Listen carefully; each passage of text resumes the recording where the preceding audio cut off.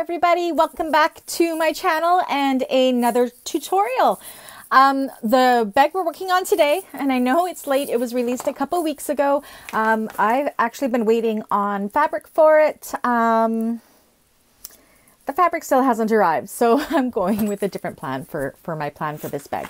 So today we are going to make the Harmony bag by Shamballa Designs. I'm super excited about this because of all of the fringe. I love a fringe bag. I mean, I, I don't think I've had one since the 80s, to be honest. But uh, yeah, I'm really excited to do this. There's going to be some new techniques in here, which I'm really excited to learn and share with you guys. Um, yeah, so let's first go through what pieces you do need for this bag. Um, I've been cutting all morning, so let's go through the hardware first. Um, I'm doing all mine in antique brass, so you're going to need lots of rivets. You're going to need a slider. I'm actually using a wide slider because I'm doing my bag in leather, so I want to make sure that that crossbody strap is going to be able to fit through that good. You're going to need two D-rings you're going to need number five zipper tape and two uh, zipper pulls. Oopsies. Four purse feet. A, I'm using a metal zipper end. You can make your own zipper end if you wanted to. And I'm also, I'm going to be doing my connectors a little bit different and I'm going to be putting these on uh, the end to hide the raw edges there. So um, these are just the one inch uh, strap ends from Emmaline bags. And that's really all you need for hardware. It's very minimal hardware bag. Um, interfacing, all of my cotton pieces are fused with uh, SF101 medium woven interfacing. Um, I'm using Pellon Flex Foam foam as my stabilizer. Um, I am attempting to do this in a leather that I bought from Tandy Leather a few weeks ago. It is a two ounce leather. Usually I haven't played with leather that much, um, but I've heard that it's good to be two to three ounce. This one feels a little bit thinner, even though it is two ounce. So I've actually backed within the seam allowance um, on the main back piece and the gusset pieces uh, with light, just to give it that extra um, body to uh, just to make it stiffer. I don't want it to collapse upon itself. So I have that on my gusset. I have Decovil Heavy on my bottom piece for the exterior. The front piece I'm just leaving with foam. It's going to have a lot of body with the uh, fringe and everything on the front. And then of course my panel is going to be cotton, which I will show you right now. Okay, so you are going to need to cut out and excuse I haven't trimmed my woven interfacing yet. Um, your accent panel for the front, I'm going with this awesome cowhide looking print. This is just uh, quilting cotton from Fabricland. Uh, you're going to need well, two lining pocket pieces.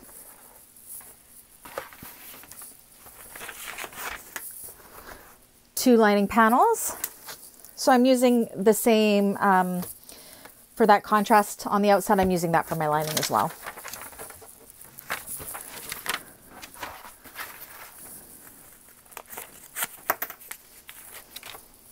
Two lining pieces.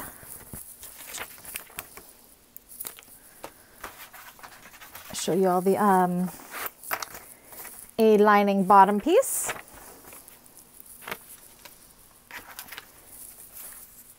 Uh, two lining zipper panels. I think that's all the lining pieces. And then we're into the leather. And this is the leather that I bought from Tandy Leather. You can see it's really thin. It says it's two ounces. It definitely has an odor to it, so but it actually feels amazing. So I have stabilized this with Decovil Heavy within the seam allowance. So that's the one bottom piece. Two gusset pieces, and again, I've backed these with Decovil Light just to give them a little more stiffness. One back panel, which I've also put Decovil Light on. These will also be attached to foam. Um, I do that later on in the pattern. So um, yeah, I've gone overboard. So these will have Decovil Light and foam as they're interfacing. A long piece for your crossbody strap. So you can see how thin it is there. I don't know. I'm curious to see how it sews up. I guess we will find out. Um, I cut out a scrap piece because uh, I'm going to do my zipper overlay method. It's a slightly different than how she does it in the pattern. So again, that's something you'll go into my playlist, my Bag Makers 101 playlist, and you can check out how I do my lining zipper overlays. Two exterior zip panels. One piece that will be cut into two for our crossbody connectors. Two lining top of the gusset pieces.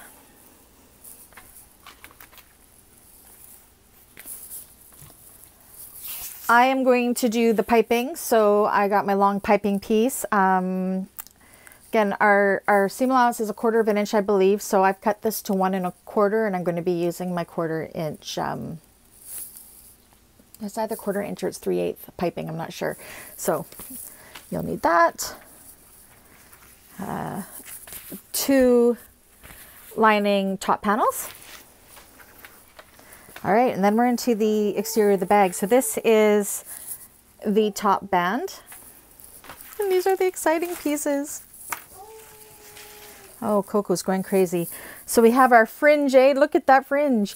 Now, I ended up choosing leather for this. I'm You can do it in any non-fraying fabric. Just keep in mind that the back side of the fringe is going to show. So I know that some faux leathers or some vinyls have like a black backing. That would be good. But uh, I mean, most have that white uh, backing, which would be okay. Uh, just keep in mind when you're cutting, I did not mark my fringe on the back. Usually I draw them out and I would cut them. But those pen marks may show if you're not dead on with your accuracy. So when I cut out the pattern, I laid the pattern down and I actually uh, took my rotary cutter and I actually just cut through the lines while I was cutting this to get my fringe. I mean, the fringe doesn't have to be perfect, but ooh, it's so nice. But yeah, I chose to, I think with this one, I would choose to use a leather fabric uh, just for that reason. Uh, same with cork fabric. Sometimes it's the same color, sometimes it's not, but I'm going with leather. So you need one fringe A piece. And then your last fringe B piece. I just love fringe. Look at that. Wee. um, so yeah, that's all the pieces that you need to make this. There's actually not that many. Um, the fringe did not take that long to cut out. I thought it would, but it, it really didn't. I said I just took my, I have a small Olfa rotary cutter and that's what I used to cut my fringe. And I actually, you can see here, not showing the pattern pieces, because we're not supposed to. But you can just see I just cut it straight through my fringe lines here. So um, yeah, I didn't use my good rotary cutter on that because I didn't want to dull my blade too much, but I used my small one to do that. And it seemed to work good. So all the interfacings I used, um, I actually now do sell on my website. So if you are looking for SF101 Flex Foam, Decovil Light, Decovil Heavy, um, pop on over there. Um, I have everything by the meter already in stock. I just got to ship it out. The um, and then if you want bolts, uh, it just takes a couple days for me to get the bolts in and then I ship them to you right away. So yeah, check out my website. I'll put a link down in the uh, description uh, if you want to check that out. Also, if you would like enough interfacing just to make this bag or any bag, shoot me a message on my Facebook page or send me a message through here or email me at info at beansbagsandhandicraftsco.com and we can work out that I can make you an interfacing package. So yeah, just let me know. I will definitely do that. Anyways, um, yeah, so again, my machine is a Titan TN1541S industrial machine. I'm using a uh, Tex 70 nylon polyester bonded. I never know which way the words go with that um, thread. Um, and I'm using a, I'm putting a brand new needle in because I am using leather and I don't want to wreck it. A size 20 net leather, or size 20 needle is what I'm going to start with with this and make sure that it goes well. So without further ado, let's get on with the tutorial. All right let's get started on this. Now, I just want to pre-warn everybody, if this video sound is a little bit off at all, I am trying a brand new microphone that I got. It's not a lanyard microphone. It's a it's actually on my desktop here, so I may be adjusting it through the video. So if at any point it sounds too quiet or whatever, I apologize. This video has kind of become the testing out the mic video as well. Okay, so we've got everything interfaced, we've got everything cut out. I went ahead and I did my crossbody strap already. I am one thing I am doing different with the crossbody strap is I'm not putting the swivel clasps on it, so I didn't mention that in my hardware list. Um, but because this is the only strap on the bag, mine I'm going to make so it's not removable. So um, I'll show you how I install it the rest of the way um, at the end of the tutorial when the bag is complete and we put the strap adjustable strap on. So all I did for now was put on my um, my slider. So you can put that aside for now. I also went ahead and made uh, my piping. Um, said I'm using a really thin leather.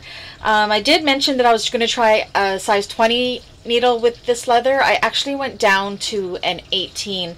Um, this leather that I got from Tandy Leather is a size uh, 1 to 2 ounce. I honestly think uh, 2 to 3 ounce would be better. So we will see how this bag turns out with this. It still feels great and everything. It's just a very, very thin leather, but I did go down to a size 18 needle, still using my Tex 70 thread. Um, but uh, usually I use a size 20 needle when I'm making my bags, but this one I had to go down with. So take your piping pieces, you can put them aside for now as well. Um, if you need to learn how to make a crossbody strap or uh, make the piping. I do have uh, instructional videos on that in my Bag Makers 101 playlist that you can reference. I will try to remember to put that either in a little pop-up up top here or um, in the description below. So let's uh, move on to the next step. So said I already cut out my fringe. Um, I did it as I cut out the pieces. Again, the pattern says to mark it out. I just cut through my paper as I cut it. I found that to be the easiest. So go ahead and do that. And then we're going to take our top bands. We need to make some marks. Uh, the pattern wants you to transfer the this line here, the margin line, onto the pattern piece. So what I've done is I actually, these are cut on the fold. Uh, you can definitely keep it on the fold. I actually printed two and uh, put them together so I could do it all in one piece. I've also gone through and on this dash line I've put just taken my X-Acto knife and I've put little dashes in there and I put holes in where the rivet marks are and this is why. So I'm going to lay this down on top. I'm just going to put a couple, let's see if you can see this a little better.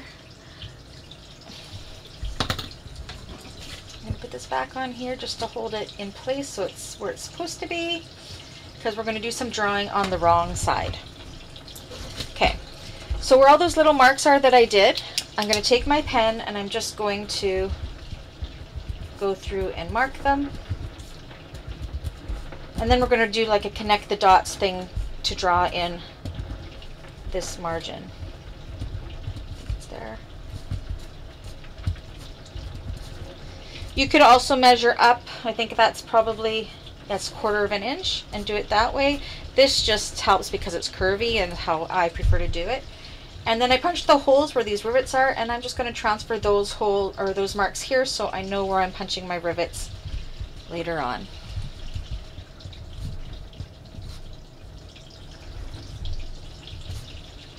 And I'm just using a regular ballpoint pen at this point. Okay, that's the last one. Because it's not going to go through the other side. If you are using something that it could, then definitely use a an erasable pen. So now I'm just going to go through and make these a little darker so I can see them.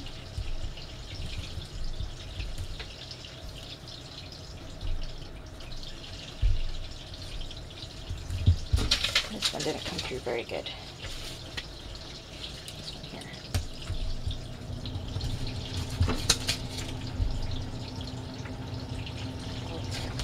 Okay, so we got our rivet marks, and then what I'm going to do, I actually have to trim this down a little bit.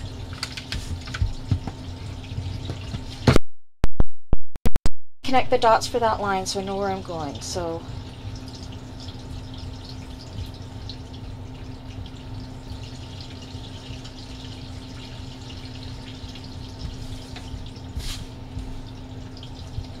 and then up this side.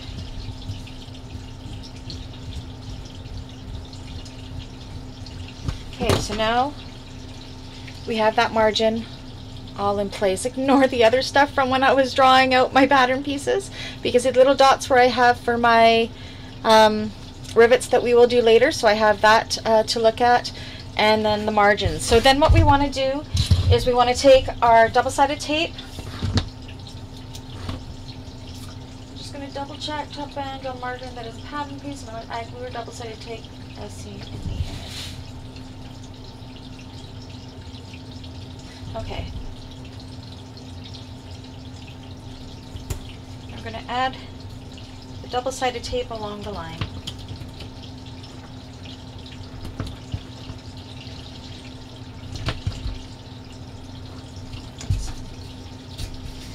Said I'm not used to working with the leather and the glue really, really likes to stick to it. So you want to put the double-sided tape just above that line. So we're going to be folding along that line.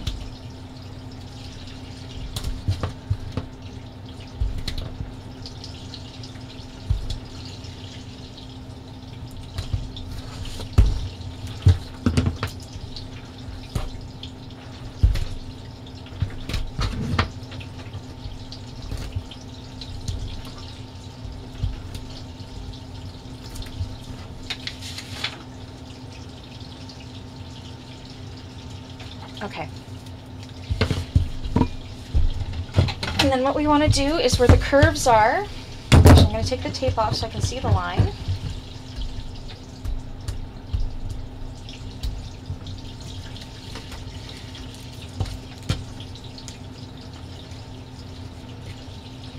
And leather is so different than vinyl to work with. And then on these curved edges here, we don't want to cut through the line, you just want to cut to the line, a quarter of an inch in, and that's just going to make it so we can go around those corners a lot easier. Like so, and here.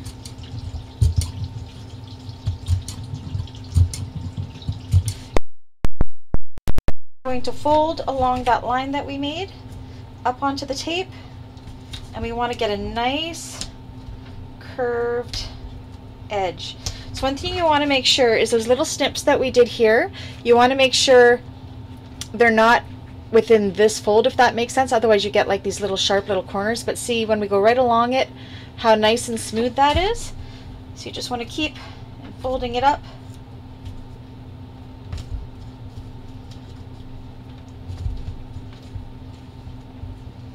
All the way that quarter of an inchish.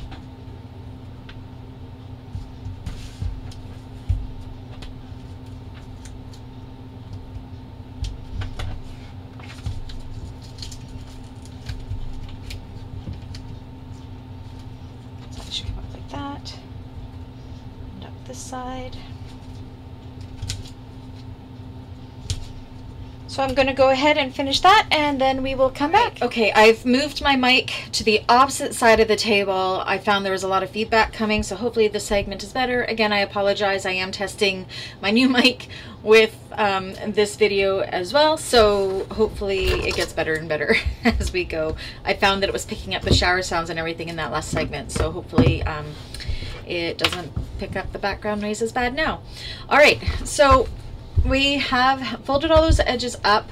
I found it a little hard. Uh, it's recommended to kind of get something pointy in there so we can get a nice um, pointy corner there. I was not successful, so I have a little bit of a squared corner, which I think is going to be just fine.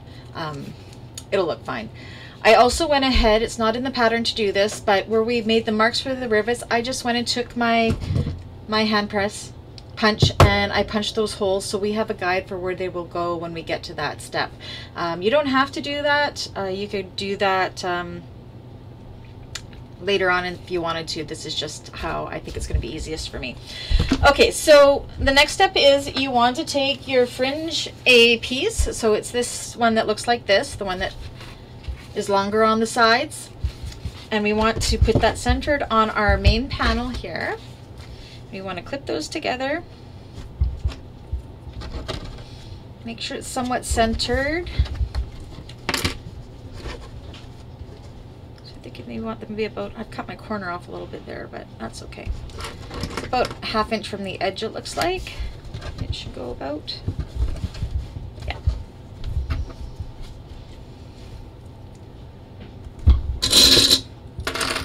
So it looks like this is going to get a little bit thick here. I do not have my foam um, on on the back of my main panel yet. That will come in a little bit. So we are pretty much going to be going through three layers of vinyl or leather or cork, whatever non-fraying fabric you are using, and then your front panel as well.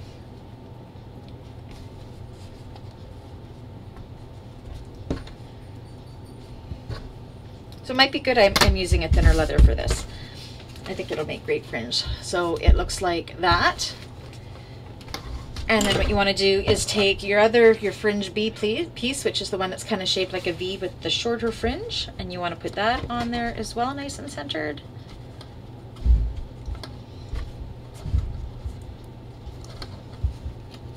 Clip it on.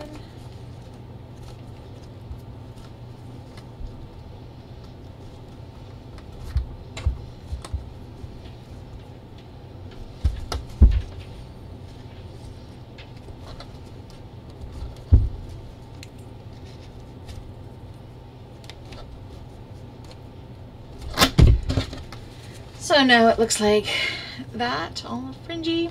And then we want to take that top panel that we just did and add it to the layers here. And this one should go right to the end of the fabric.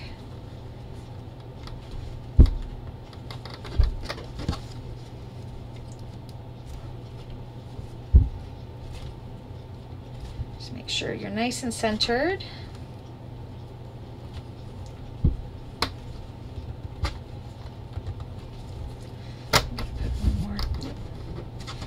Have any puckers, so make sure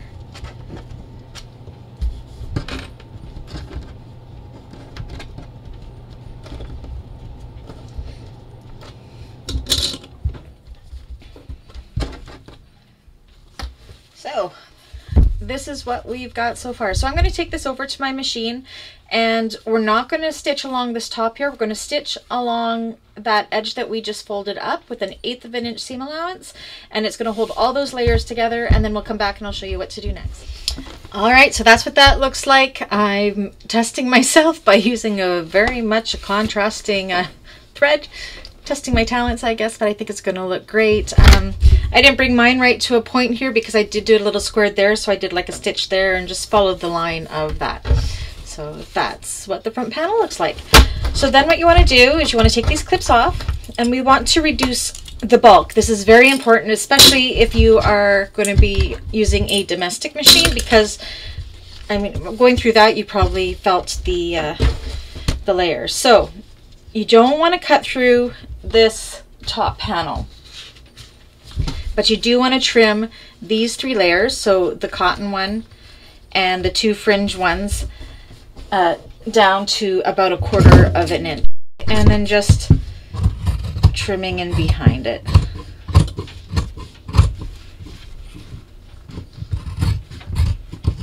I'm actually not even doing a quarter of an inch, I'm just trimming.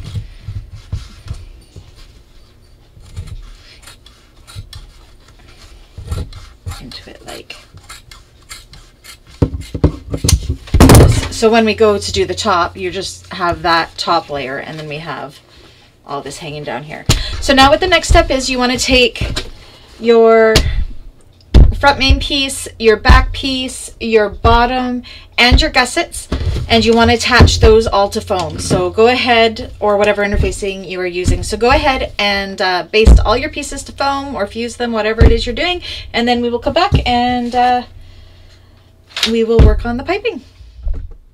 All right, so we have all of our pieces attached to the foam. I am changing from what I said in the introduction a little bit. I was, it's not in the pattern, but I was thinking about putting purse feet on the bottom, but because of how the bag's shaped and how small the bottom piece is, I have opted not to do the purse feet. So please disregard that I said you need a purse feet because you don't. All right, so now we are to the point of putting on the piping on the front and the back panels. So what you want to do, I'm not that organized today. I apologize. Where's my go? Okay. So the piping is going to start and what would one of my videos be without Miss Coco saying hello? I think there's a delivery truck and she just hates that delivery man. So I apologize for her barking in the background. All right, so we want to take our Chalko, our marking pen, and just mark two inches from the top of each piece. It's also uh, shows where that is on the, um, oh my gosh, I'm tongue tied today, on the uh, pattern pieces.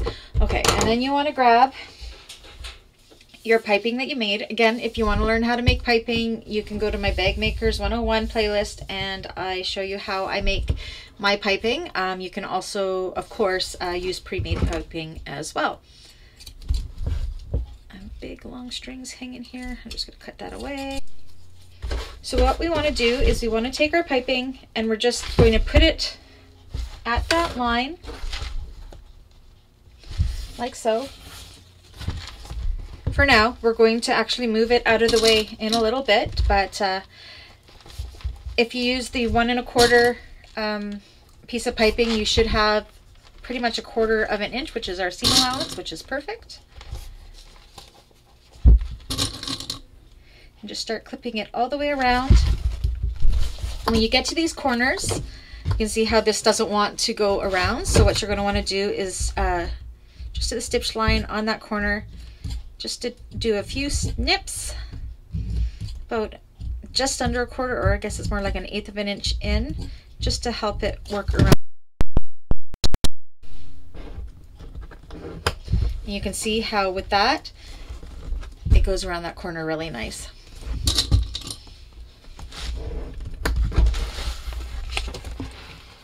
See how it just kind of hugs that corner once with those clips in.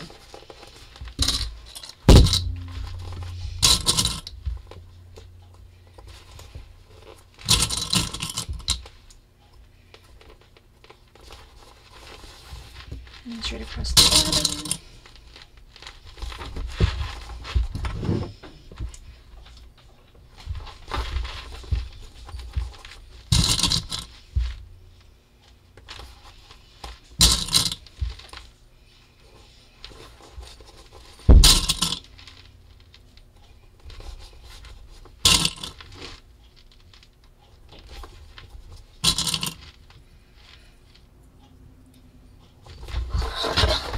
Corner again. So I am going to do little snips.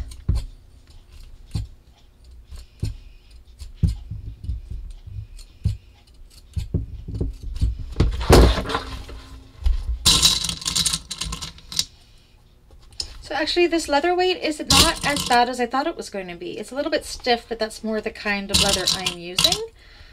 But I thought it was going to be too thin, but I think it's going to be good. It would actually probably be a really good weight for uh, domestic machines to be able to sew through. I think my Juki 2010Q would handle it pretty good. The 3 to 4 ounce, or the 2 to 3 ounce, I would probably only do on a industrial. But this isn't bad at all.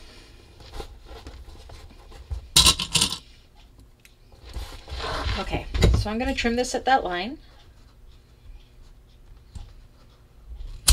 So, Okay, so now what we're going to want is for this piping to kind of go off into the side. So where that line is, we're just going to kind of push this. See what I'm doing there? We're just going to push this out like that so it's easing its way out of the seam allowance. See, see there's my line and then I've just pushed it so it kind of does this little curve so it goes out of the seam allowance. And then where we started here, we want to do the same thing. We want to take this and we want to push it just like that and clip it in place. So I'm going to go ahead and I am going to put my piping onto my front piece and then I'm actually going to take the camera over to my machine and we will attach the piping onto the bag. Okay, so hopefully the mic works good here and doesn't pick up too much of the machine noise. I have new lighting, I have a new mic. You guys have to let me know if this is better. I think this angle is really good to be able to show you what I am doing at the machine when I'm doing it. So yeah, keep me posted. Let me know. I'm trying to learn new things and how to make everything better, so your feedback would be amazing. Okay, so I've put on my zipper foot and um, we're going to baste the piping onto uh, onto the back panel right now. So I'm going to start just a little bit above. The piping starts here. I'm a little bit above, making sure that the piping is veered to the left. And we're just going to go over it. You're going to be following the line of the bag, not the line of the piping, because the piping is veering off to the right, right here. So you're going to go across it. And then a quarter of an inch with your uh, foot here right against the piping.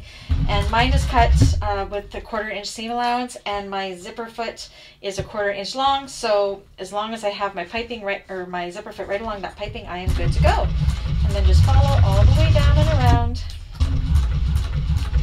I'm almost following the line of stitching from when I created the piping. Go around the corners. Sometimes using an awl around the corners if it's not sitting nice and flat helps. So you don't see your fingers. This leather is actually sitting perfectly flat, so it's not an issue for me this time at all.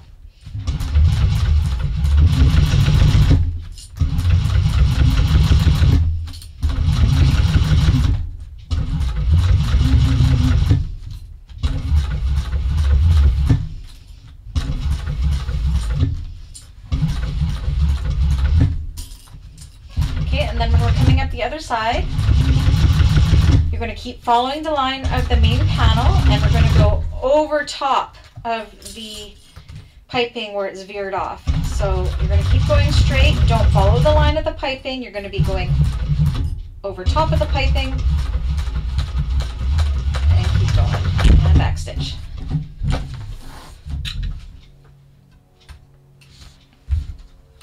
Me your threads. And it looks like this. You can see how I stitched over top and it's veered off to the left. On the back you can see more how it's veered off here. And then you're going to do that very same thing with the front panel. Make sure you're not catching your fringe into the seam because you don't want that to be in the seam. So I'm going to go ahead and do that and then uh, we will go back to the table. Actually, I might just bring the panels here. We'll see. Okay, so we have all of our piping done and it looks fantastic. What I'm going to do is I've grabbed my connector piece and I've put a line, don't know if you can see it, down the center.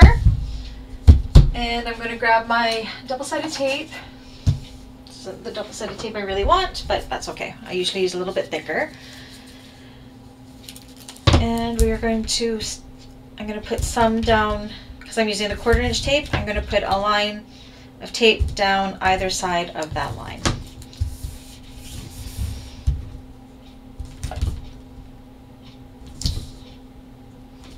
And just like we do with straps, we're going to fold into the center. We're not going to do a double fold. We're just going to fold these into the center line like this.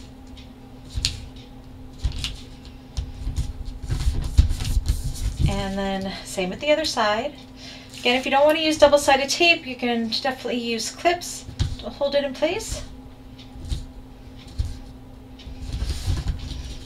So we have a one inch strap. First thing I'm going to do, because I've changed up my foot and everything, this is my, this is terrible. I take a, a, a piece of whatever material I'm working at and I fold it so there's four layers. And this is how I double check my um, tension because on this machine my tension likes to uh, change with different materials. So I just want to make sure that my tension is good. And you can see I did that bottom line. My stitches look great, even look great on the other side. So this is my messy uh, checking to make sure that my tension hasn't been thrown off. Okay, so now what we're going to do is down these folded lines or edges, we're going to do an eighth of an inch seam allowance down each side.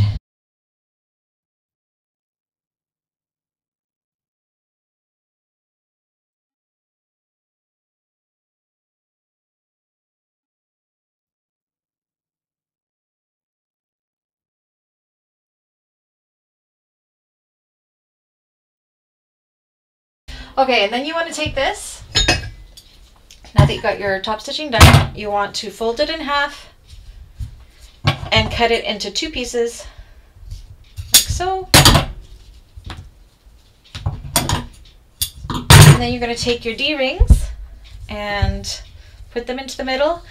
I'm doing this a little different than the pattern because I'm actually not folding these under. I'm going to put a um, strap end on the end of this and then I'm going to rivet it to the bag. So I'm not going to stitch it to the bag at all. I'm going to rivet it to the bag. So then I'm going to just baste those raw edges together like so. Do it with the other one.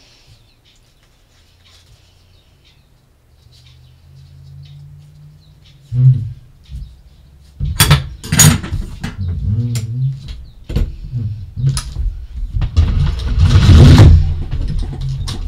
then when I go back to the table, I will put my strap ends on to these. I like the look of having the strap ends on the end of my connectors here. I just think it adds a little more bling and then they'll be riveted on. So you can put those aside for now. And then what you want to do is you want to take your two gusset pieces and your bottom pieces, bottom piece, you're going to match up the raw edges on one side. And I'm just going to double check that it is a quarter of an inch seam allowance.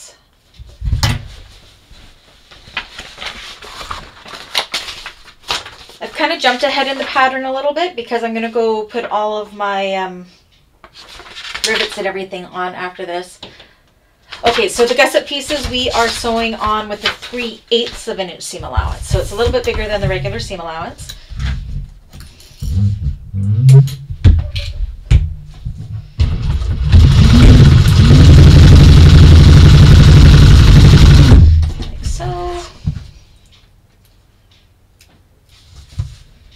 And then what you want to do is you want to make sure that this seam here is pointing this way towards the bottom. Like mine's a little bit thick like that. And then we're going to top stitch along here to hold that seam in place. With the 1 8th of an inch seam allowance. So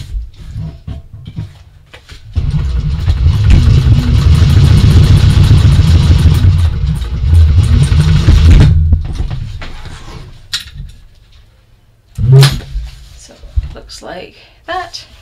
And the seam is being held in place. And then you want to take your other gusset piece and do the same on the other side, right sides together.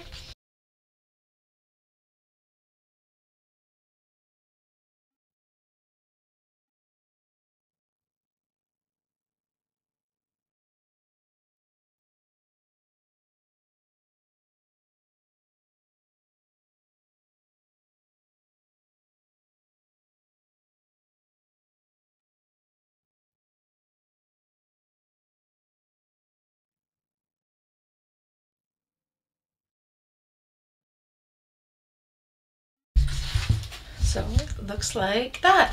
Okay, so I'm going to go back to the table and off camera, I am going to, um, well, you're putting purse feet on, you could do that now. Again, I'm not going to do that. I'm going to go ahead and punch through these holes all the way through and uh, set my rivets in there. I'm going to go and put my nameplate on here and I am also going to um, put my one inch strap connectors on the bottom of this and then as per the instructions place these onto the gusset um, but I said I don't sew them on I just rivet them on. But on the back make sure you use a little scrap piece of Decovil light behind the rivet not Decovil light Decovil heavy behind the rivet just to give it that extra stability so it won't pull through. So I'm going to go ahead and do all that off camera. Again I'm just blinging all the, up the bag and putting my strap connectors following the measurement um, the measurements in the pattern as to where to place the strap connector and put her on. Um, and then when we're all done that we'll come back. We will put the gusset and the main panel and back panel together. Okay, so I have gone ahead, I added all my rivets along the top, I added my nameplate on the bottom, and I've put my connectors on here. So this is what I was saying. I left the bottom raw, and rather than sewing them around, I riveted them in place with a piece of Decovil Heavy on the back as well. So those are all ready to go. So now it's to put them together. So what you want to do, I've already done this, is you want to find your centers of the bottom pieces. And I've, I just do little snips. And you want to do centers of the main panel and the exterior panel.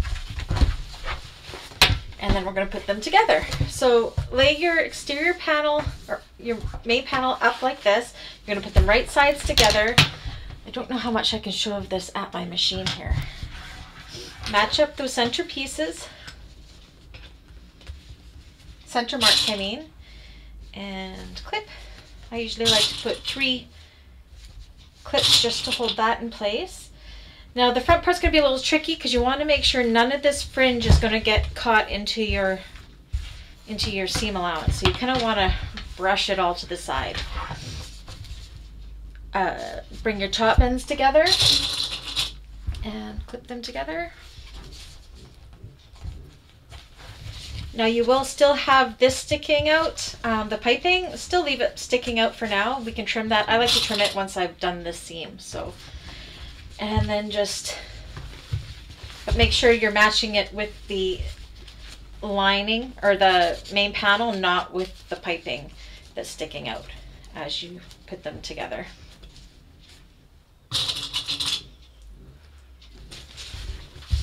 And clip it all the way down.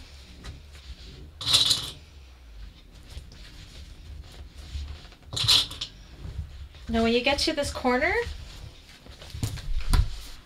actually I think it's going to go pretty good. Yeah, if, if it's not fitting very well, you can go ahead and snip into the corners just like we did with the piping to make it so it would fit better. This other side here.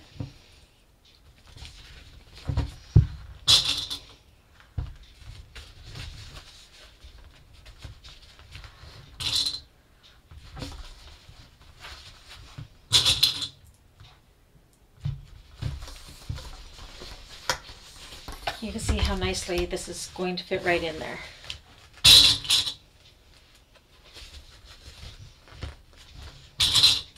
But again, if it's not wanting to fit in there, if it seems like the gusset piece just doesn't want to, make you can do those little snips, no problem. I'm getting lucky here, so I don't have to. I don't think.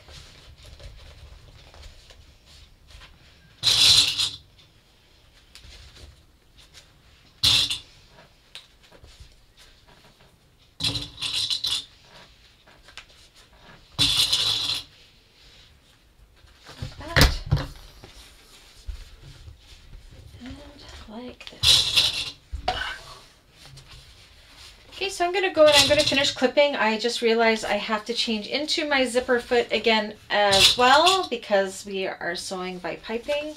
We don't want to go over the piping. So I'm going to go ahead and do that, finish clipping this, change my piping in, into my zipper foot, and then I'll show you how I'm going to sew this all on. Okay, so I have my zipper foot on. I have it clipped all the way around. Now usually I would sew this with my main panel against the machine bed. But because I want to follow the piping line that we have on the back, I'm actually going to sew with the gusset down so I can follow that piping line. Oops, make sure I got my threads out. So we're going to sew the seam with a three quarter or a quarter of an inch seam allowance. And when I get to where the um, piping is, I'm going to follow that quarter inch line where we basted the piping on just to give myself a good guide as well as feeling for where the piping is. You don't want to run over the piping. And keeping your hand inside here helps a lot too. Make sure your uh, fringes are all where they're supposed to be. So we're coming down and just following that line.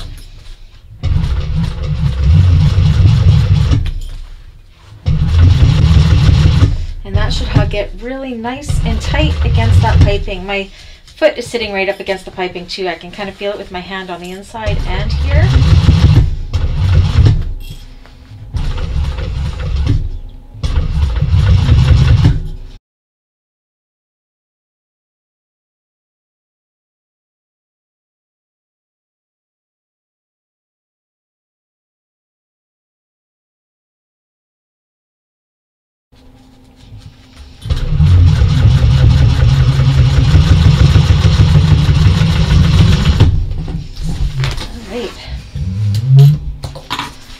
Take a look, kind of pop your bag out, make sure you like what you see. Um, because I'm using a contrasting thread when I made it, I want to make sure that I can't see that thread anywhere. And you can see I can right there. So I'm actually going to go back over that and go a little bit tighter on those corners.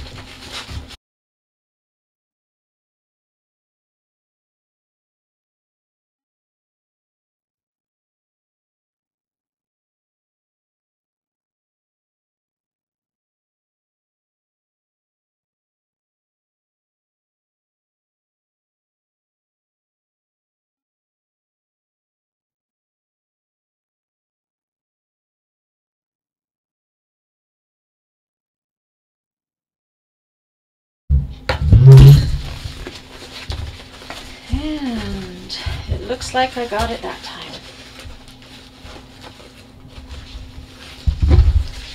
There we go. So I'm going to go ahead and do that with the back panel. You're going to do the same thing. You're just going to put it on like this. Go all the way around, turn your bag out, and the exterior part is done. Um, I'm going to go ahead and I'm going to install the lining zipper pocket. Um, I'm not doing it the same as the pattern.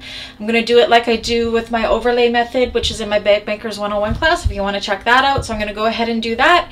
And then um, we'll come back and we will start working on the zipper panels. Okay, so what do we have done? We have the full exterior of the bag done. The piping looks excellent. So this leather actually ended up being really nice, which is good. Loving the fringe.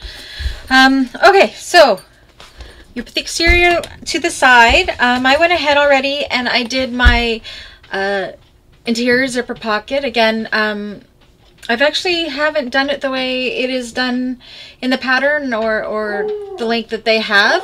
Um, this is uh, my current preferred uh, method that I love and it's uh, the zipper overlay method.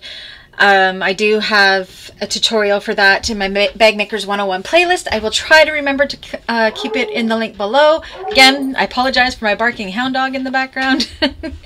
um, another thing I do different is make sure you leave an opening in your in your uh, zipper pocket uh, for turning. So in the pattern, you turn the bag through an opening in the bottom of the lining, which we are still going to do but we're going to seal that up with the opening in the pocket. So what I'm going to do now is I'm going to take my zipper. We're going to work on the zipper panel and we want to turn these raw edges. I'm using zipper tape uh, down. So what you're going to do is you're going to turn this down to a 90 degree angle. I think that is. So it's like that. And then you're just going to baste it so it stays like that and do the same equally on the other side. So I'm going to go ahead in my machine. I'm going to do that. Again, you just kind of fold it down upon itself like that and then baste right along the raw edge there equally on both sides so we'll have something that looks like that. So I'm going to go ahead and do that and then we'll come back and I'll show you how we're going to build that zipper panel. Okay, so I have done that. Put the zipper aside for now and pull out your two exterior pieces and your two lining pieces for your zipper panels. Now you want to make sure that they are all the same length. If they're not, mine are pretty close, we can trim them up, but we're going to want them to meet up. So the first thing we want to do is on the back side of these, and I said I may be doing this a little different than the pattern. Uh, this is the way I like to do my zipper panels. But on the back of each, I want to mark in uh, one inch. Oops, if my pen would work. There we go.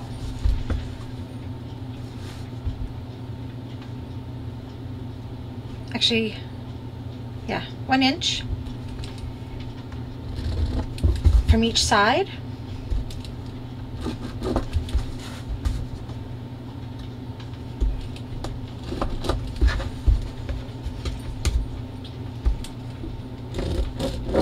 And then again on the opposite sides, one inch in, draw a line.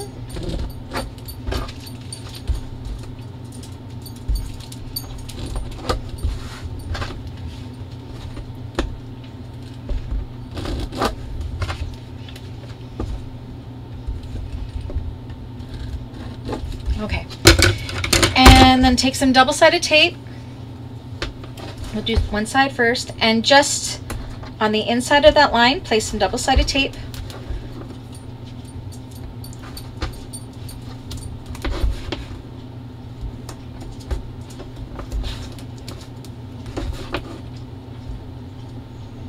Like so, and on the opposite sides as well.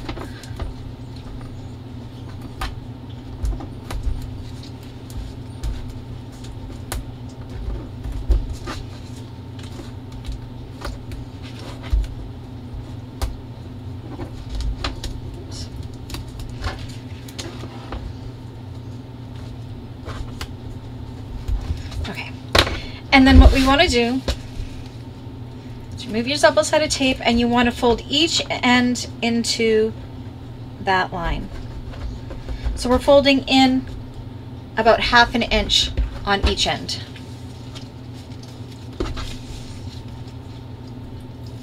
And this is just to hide those raw edges.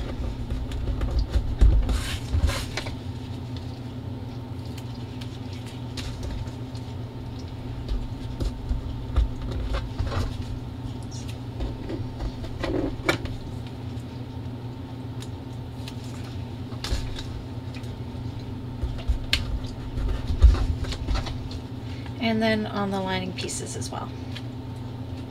The lining pieces you could probably take and press them if you wanted to rather than taping them but I find tape faster and easier. My iron's cold right now anyways.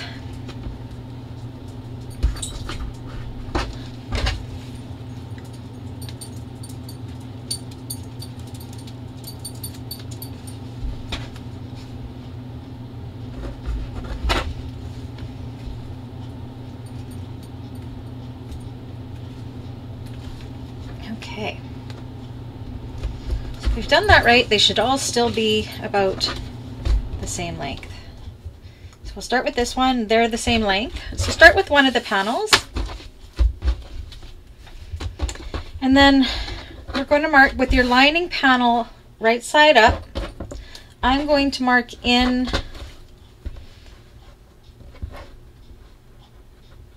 at that half inch mark on the outside. So I'm just going to put a small little mark right there where the half inch mark is. Take some more double-sided tape and I'm going to put it along the top, the side that we just made that mark. Like so.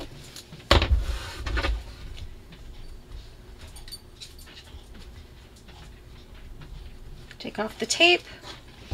And then with the zipper pull closing, this to the left is what we want. So we can open this up. I've also done a few little tack stitches on the end so my zipper pull doesn't go off the end. But what you're going to do is you're going to take this curved mark here that we did and match that to that little mark that we just did at that half inch mark. And then line up the raw edges. You can use clips here instead of tape if you want to. Oh! oh my gosh, Coco. And do it all the way across like this. You can see how it is at that half mark there, and that's where the tape is turning out. You can go to your machine and baste that now if you wanted to. I'm not going to. I'm going to go ahead and place down some more tape. I'm actually going to go to some smaller tape. One second. This one's too wide. If I have any here.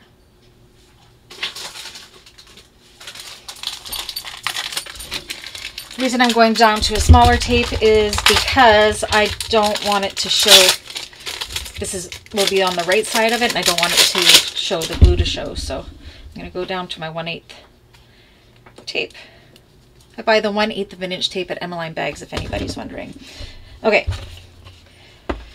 So on the exterior piece on the right side, you're going to put your tape along the top, like so.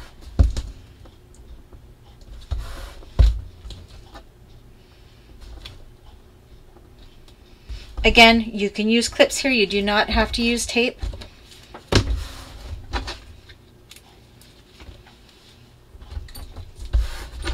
Take that tape off, the paper off.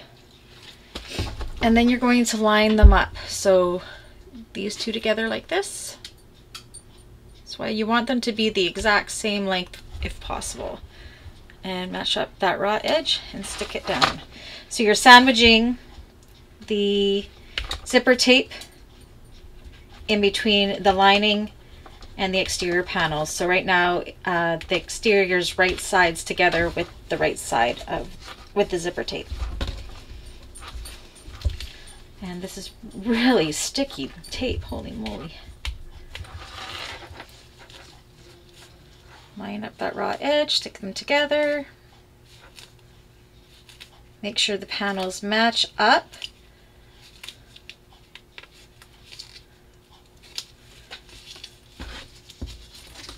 Which mine do, like you can see.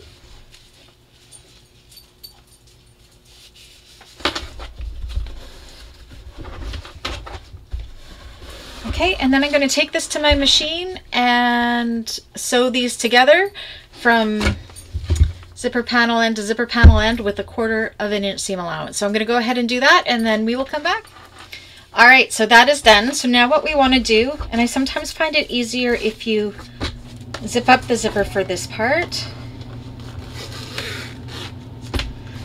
So you can see how curving that edge hides that edge so the pull doesn't come off. So this is good. So what we want to do is, if you're using cotton, of course you could take this to your ironing board and press this.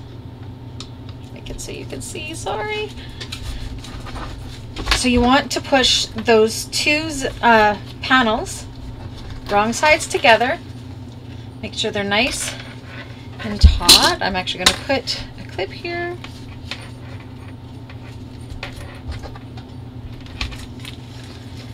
On the other side, pull them nice and tight, matching up those raw edges again. Put a clip there. Match up the raw edges here and clip all along there. Said it is a lot easier when you compress it. I could probably press it from this side if I wanted to. I'm just worried about the leather.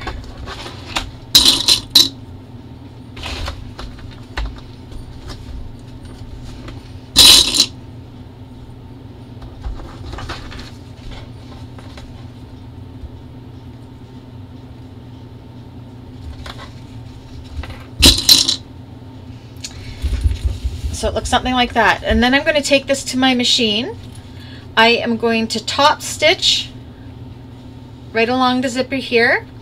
Actually, eh, top stitch, actually top stitch up this way. So that's going to put these two sealed in edges together. Top stitch up this way, across the top, and down this side. And then just baste the bottom edge together. So I will go and do that at the machine. I'm also going to go ahead and do the other panel. So what you want to make sure when you do this panel is that they line up for sure with the one we just did. So when they're opened up, they are even like that. So I'm going to go ahead and I'm going to top stitch this one. I'm going to go and sew this one and the lining piece on exactly the same way we did this one. Top stitch that and then come back and we will start uh, assembling our lining panels. Okay, so there is our completed zipper panel. So it's all top stitched along the sides and here and basted along the bottom. The next thing we want to do is find the centers of this. So fold it in half. And again, I just do little teeny tiny snips. You can use a marking pen if you want. I just find that I can't lose the snips. So just make sure you're keeping it within the seam allowance. Like so. So I got my centers marked there. You want to take your lining panel. I've already done it. You want to make sure you have your center marked here. I also marked my center on the bottom. And you also want to take your lining um, contrast band and find the center bottom of that as well. Like so. Okay. So what we're going to do is you have to decide uh, how you want your bag to open. Um, I prefer my zipper pocket to be at the back of the bag. So my zipper pull I like to open from the left, so I'm going to put it so the zipper pull opens to the left. So the zipper pull I have one closed is on the left hand side with both right sides up of the lining panel and the zipper panel. We're going to mark up, mark, match up those centers and clip it.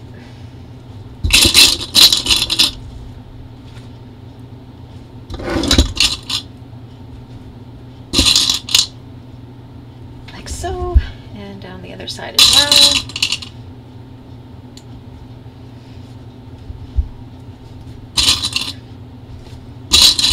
Now you could take this to the machine right now and you can base that, but I'm going to skip that step and do this all together.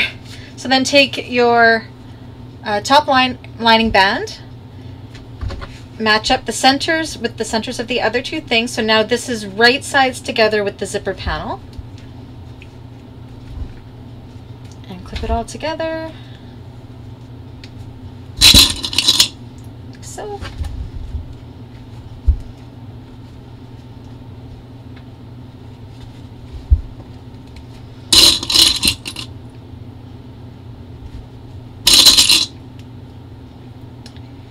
And then we're going to sew those three layers together with a quarter of an inch seam allowance. Now when we are done all that, I better double check this. Yes.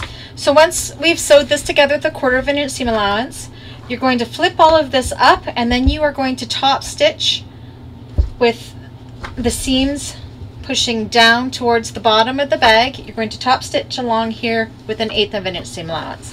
So sew them together with a quarter inch seam allowance. Open it up like this with the seams pushing down towards the lining and top stitch along here with an eighth of an inch seam allowance. And then you're going to do the exact same thing with the other side of the zipper panel. So go ahead and do that and then we will come back and work on the gusset. Alrighty, so that is done. We've got them all sewn together. We top stitched it along the inside here. So we've got almost the shell of the lining. So put that aside and what you want to do now is grab your lining gusset pieces and your gusset contrast pieces. Okay. So you want to take one of your gusset pieces course, I haven't trimmed my interfacing back yet, so we'll just do that quickly. Okay. So what we want to do is we're adding this to the top and that's so when you're looking down in the bag you have um, your contrast your faux leather your cork your vinyl your whatever um, up above the zipper panel so it's like the exterior of the bag on the uh, upper part above the zipper panel and then the lining. So what you want to do is the wide part is at the bottom of the gusset. And you're going to take the wider part of the gusset uh, contrast, put it right sides together.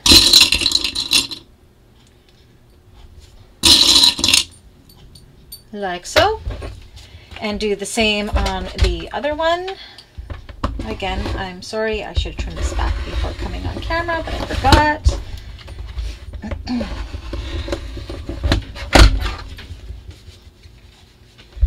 Do the same thing. Oops. So we're going to sew across the top of this with a quarter of an inch seam allowance. Then you're going to open it up, push the seam towards the bottom of the gusset, and top stitch along this with an eighth of an inch seam allowance, making sure that the seam is pointing down. So at the same time while I'm doing that, just because we have already done this with the exterior, is once I've got that done, I'm going to go ahead and sew on, whoops, my bottom pieces of the gussets, and it's going to go together exactly the same way that our exterior gusset went together. I'm just going to double check the seam allowance to make sure it's 3 eighths of an inch for that. Um, Yes. Okay. So these top gussets, you're doing with a quarter of an inch seam allowance. Your bottom one, when you put these right sides together, you're going to do this one with a 3 eighths of an inch seam allowance. So go ahead and assemble your whole gusset piece and then we will put it together with the lining of the bag. All right, we're getting to the home stretch. I go through the lining really fast, mainly because it's almost exactly the same as what we did on the exterior, just a lot less complicated. So here's our gusset pieces. So we've put uh, the contrast there, and I've done the top stitching, done on both sides, and then of course uh, the middle bands as well. So now what we want to do is we want to find the center points of these. So the way I do it is I just match up the bottoms the bottom seams like this where we had them connected. And just do snips these two seams here. Put them together. Pull it tight mark your center. And then we have already marked our center bottoms on our main lining panels. So what we're going to do is it's sometimes easier to have it unzipped. You got to make sure your zipper is hanging on the inside. So I'm going to flip this up like this for now. Put them right sides together. Match up that center mark there, just like we did with the exterior. Bring these up. Now with this, you want to make sure that you're matching up this seam here and this seam here and that's just so we have uh, a fluid line of the contrast bands. So you want to match up those seams. So when they're sewn together they go straight across like that. And then of course clip the top. Do that around the other side. It's a little bit awkward because we do have them attached together by a zipper. Just make sure your zipper stays out of the way. Match up those seams.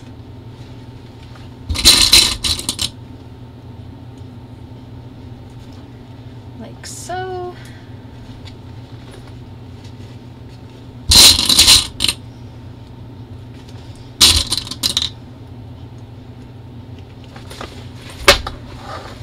And then evenly distribute the fabric all the way down. If you need to snip into the gusset so it will go around these corners, do so. I'm not as picky with the lining because if there's the odd pucker, it's not going to be seen as the lining.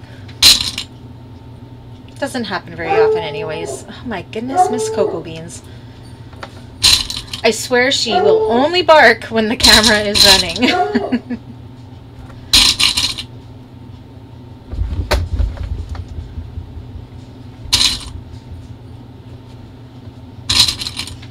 So this is, of course, a lot easier because there's not as much bulk. There isn't the piping that we have to worry about.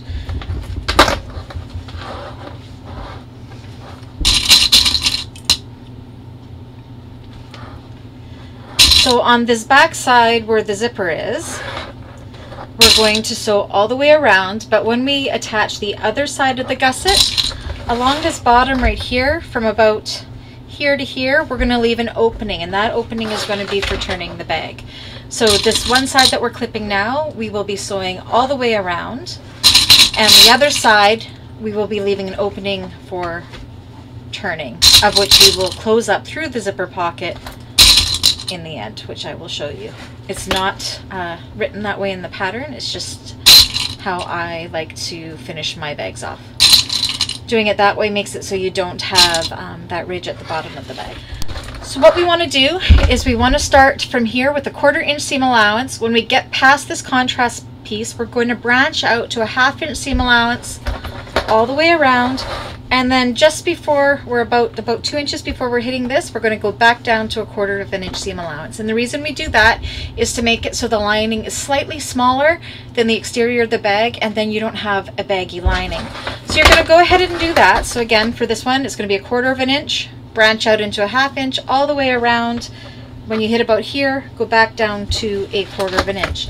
Now once you're done that, you're going to do the exact same, attach the other side just like we did, matching up our seams and everything except for from for about, I'd say leave about eight inches or so open. So you're going to sew quarter of an inch of seam allowance, half inch to here, back stitch back, I always back stitch a couple times, jump over here, leaving this bottom open, back stitch a couple times, half inch seam allowance until you hit about here, then a quarter inch seam allowance all the way to the back.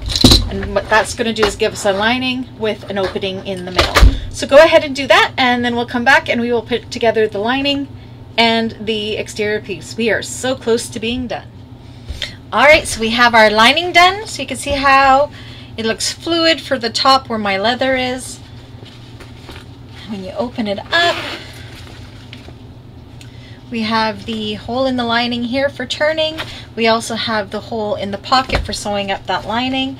Now it's just putting the two together and we are so close to being done which is a good thing because my camera is almost out of battery so let's get her done. So now what we're going to do is we're going to take the uh, exterior of the bag and we are going to put it inside the lining. So I like my zipper pocket to be at the back of the bag so I'm making sure that the back of the bag of the exterior is going again right sides together with the back of the lining where the zipper pocket is. Make sure all of your fringe is down in the bag because you do not want that to get caught up in your seam that we're about to sew because that would be bad news bears. Don't want that to happen. So make sure all of your, your zipper is out of the way, make sure all of your fringe is out of the way into the center of the bag. And then you're going to start clipping. I think I'm going to start on the side here, matching up these seams with that, with the on both panels. Um, opening up the seams if you can. And clipping. The other one with the seam next to it.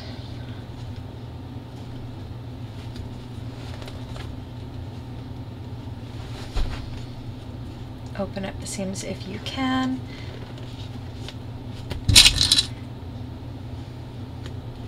Clip it Oops, we're sliding. My leather is really slippery, so isn't the easiest to work with, but I think it's going to look really nice. So, oops. There goes another clip.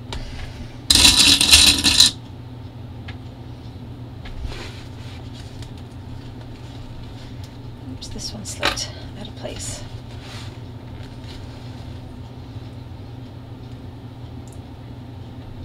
So at this stage, if you need to use a lot of clips, definitely use a lot of clips because you don't want anything shifting where it shouldn't be and then your bag isn't the right shape or the lining is not where it's supposed to be and your seams aren't lining up. You want it to all be perfect at this point. Okay, so I've got those ones clipped. I'm going to go do the same on the opposite side.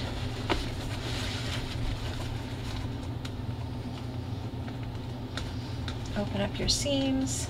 My seams are a little thicker because I didn't cut the foam outside of the seam allowance. And the reason I didn't is because I have a um, industrial machine and I don't really have to worry about that too much.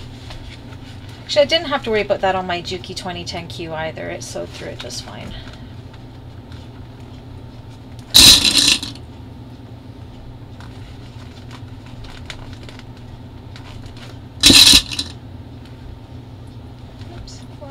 Sliding.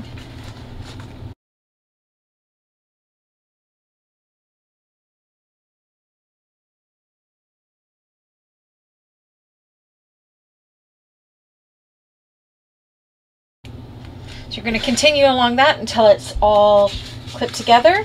And then we're going to sew them together with, I, double checking my with a 3 eighths of an inch seam allowance. So the way I do it is once it's all clipped, I actually sew from the inside of the bag and I turn my bag around this way.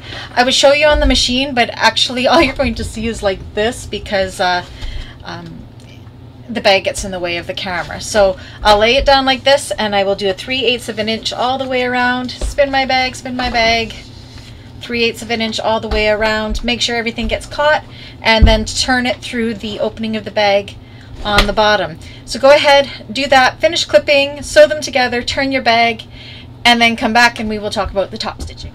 All right, I forgot to mention, I've gone ahead and I have sewed all the way around with a 3 8 of an inch seam allowance, but I forgot to mention for these curvy parts, we're going to want to do a few little notches just to help around that curve, not cutting into the stitches, just so we'll be able to press it nice and flat around these curves.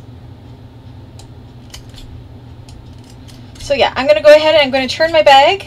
Um, it's going to be a little bit of a workout for me because I have used leather and I've added Decovil light and a whole bunch of fun stuff. So uh, yeah, just wanted to come in and make sure I tell you guys to go ahead and clip small notches into those right, curves. The home stretch. So I pulled it out. It actually wasn't that hard to turn. Um, maybe it's because the leather is so slippery. I don't know.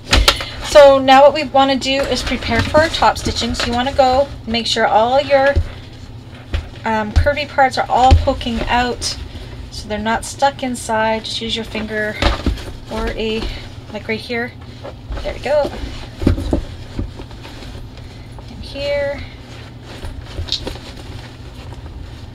Just because those rounded parts like to stick in together. Okay, so stick the lining inside the bag.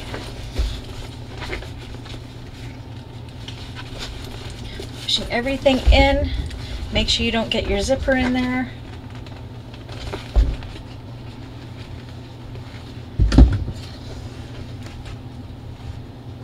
Got it clipped in there. There we go.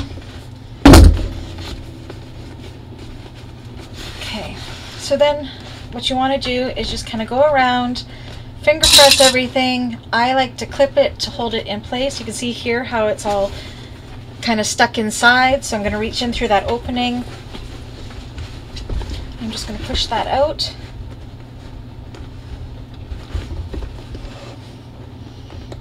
Like so. And then massage in. There we go. In that beautiful shape that all Shamballa bags seem to have. And I can tell because I have used leather, I'm going to have to use a hump jumper over some of these seams. They're going to be really thick.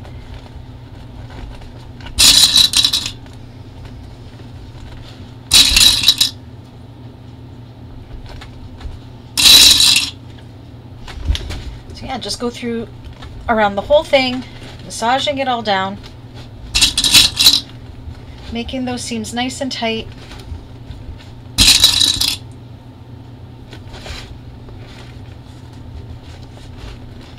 And then you're going to take it to your machine, you're going to put it this way, and you're going to top stitch along the top with an eighth of an inch seam allowance.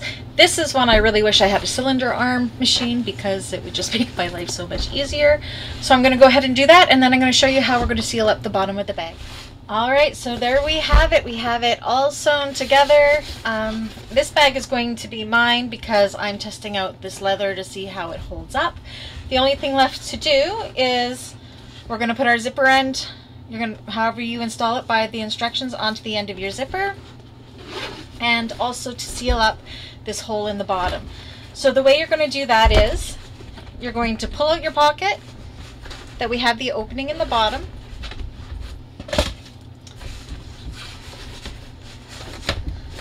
Like so, you're going to reach in there and you're going to grab the opening in the bottom of the bag. You're going to pull it through the pocket.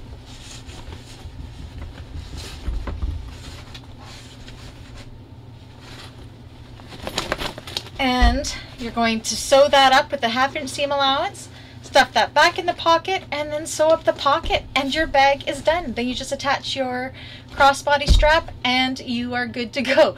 So I seriously have like 10% life on my camera right now so I'm to do that off camera again you're to just sew that up stuff it back in here once it's sewn sew up the zipper pocket put in put on your straps and you are done so I hope that this tutorial was uh, helpful and useful. I have never made a fringe bag before. I just love it. There will be more coming. So yeah, that is the Harmony Bag by Shamballa Bags. And I hope you guys all loved this tutorial. Um, if you did, make sure you give me a thumbs up, uh, leave me a comment, let me know how my sound sounds. Um, I don't know if I'm sold on this microphone. I think I liked my iPhone microphone better. I am not sure. Uh, we will see. I have to, I'm not very good when it comes to change. So, yeah, thank you everybody for tuning in. Sorry this pattern or this tutorial got out so late, but it is here now. Everybody have a great weekend. Thank you so much. Bye.